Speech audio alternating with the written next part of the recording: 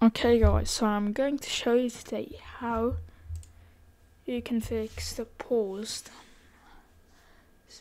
sync issue.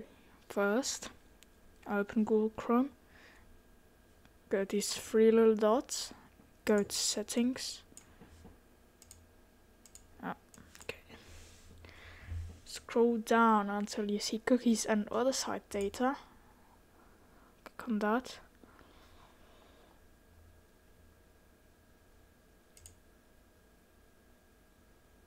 Now site settings. Scroll down until you see cookies and inside data.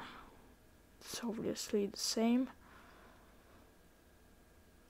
Sites that can always use cookies. Click on add. Then add account.google.com like this.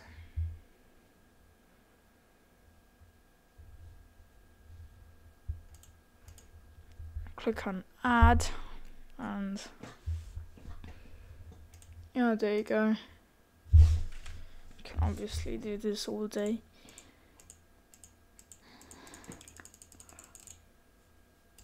So I hope you liked the video.